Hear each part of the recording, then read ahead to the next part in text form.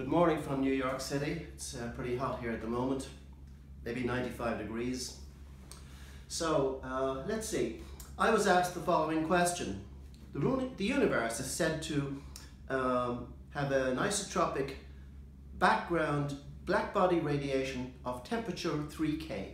The question, what does radiation of 3K mean?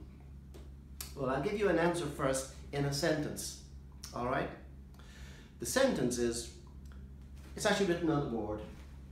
It means that black body radiation corresponding to the 3K curve permeates the universe. Hence, its peak radiation, lambda zero, is given by 2.9 by 10 to the power of minus 3 um, meters Kelvin over 3K Kelvin, right? Which is about one millimeter. All right, so that's the radiation wavelength at its peak. So what does that mean? Well, it goes back to um, Edgar Allan Poe, right? Edgar Allan Poe, well, he, he's the same guy who wrote The Pit and the Pendulum, The Cask of Amontillado, Annabel Lee, and so on and so forth. You say, what's that got to do with him? Well, he answered first what's called Olbers paradox. Here's the general idea. Well, first of all, let's state the Olbers paradox. Olbers paradox asks the question, why is the night sky dark? And you say, well, gosh, only there's stars out there. There's only a few. Not necessarily. This is the way it works. The night sky should be bright, full of stars. Because if there was an infinite number of them and all the light has reached us since the beginning of the universe, or if there was a beginning, uh, it should be covering the night sky. It's like being in a forest.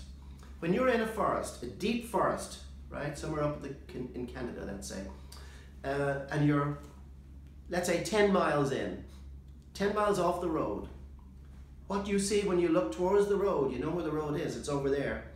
You see a wall of trees. There is not a single space where you can't uh, catch a tree in, in your sight, right? So, you see a wall of trees until what happens? You start walking towards the road, right? As you get towards the road, gaps start appearing in the wall of trees. And eventually, you only see a couple of trees and you're on the edge of the forest. But deep in the forest, you get the wall of trees. Now, Olbers' paradox realizes that we are deep in the universe and we should get a wall of stars. Well, we don't. Edgar Allan Poe says the reason for that is because there was a beginning. A beginning to what? A beginning to the universe. Now, what is that? In modern terms, people call it the Big Bang. I think it's a terrible piece of terminology. It's just an origin. It means that the universe began at some point and started to evolve, expanding.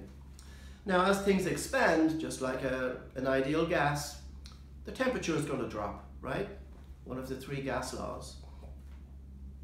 So, as the universe expands, the temperature, which was really hot at the Big Bang start, drops down to a uniform isotropic temperature of 3K. Now that was discovered, first of all that was predicted, probably by, was it Bob Wilson? I can't remember. Penzias and Wilson got the Nobel Prize for it anyway. Arthur Penzias discovered the stuff predicted already. It's one of the most powerful uh, piece of predictions and observations from the last century. That somebody could actually go down, figure out the temperature of what the radiation of the universe should be, come up with 3K, and then some other guy finds it.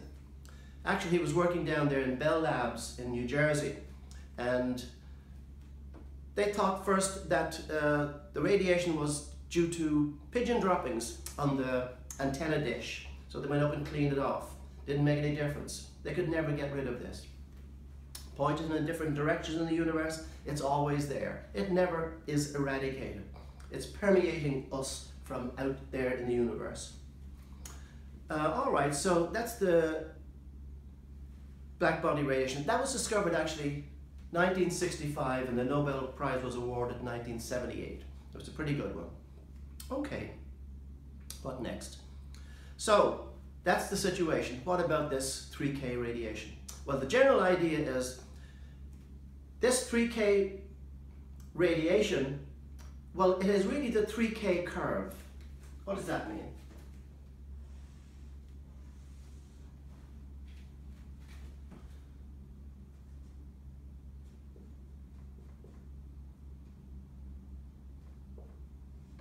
If we plot the energy density, the spectral energy density, that is with the lambda dependence, or we could plot in a slightly different curve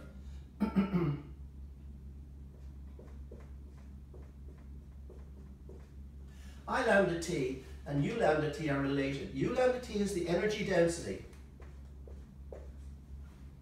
Um,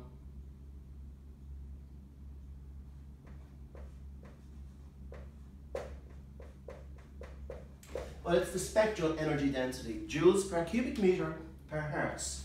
So that we can say this.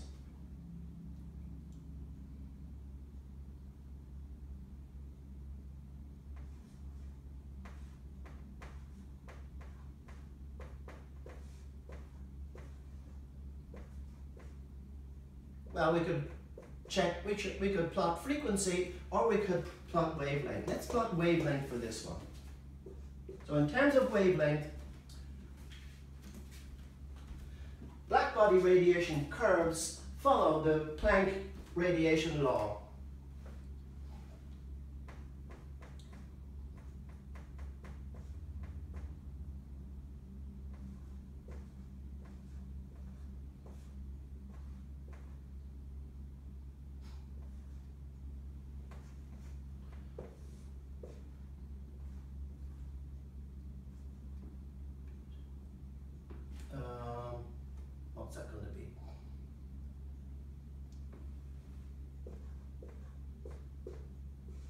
Okay, the Planck radiation law generates curves for each temperature.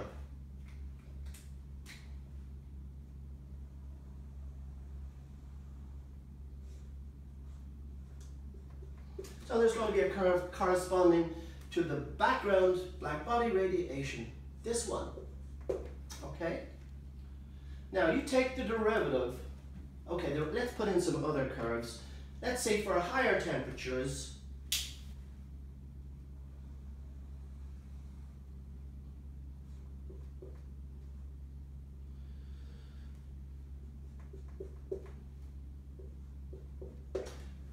curve peak starts heading towards this direction at higher temperatures still.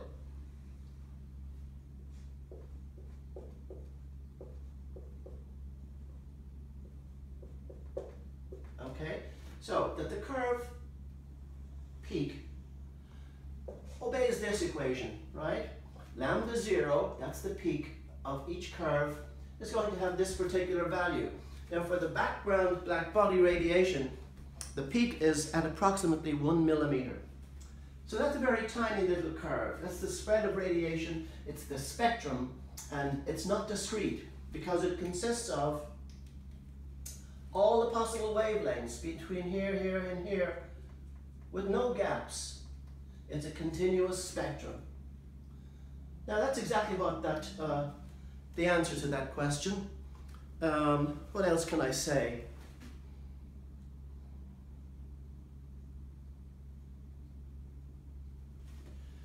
that's about all I can do for this one. Is uh, we'll do something else in a. I can give you the units of this I.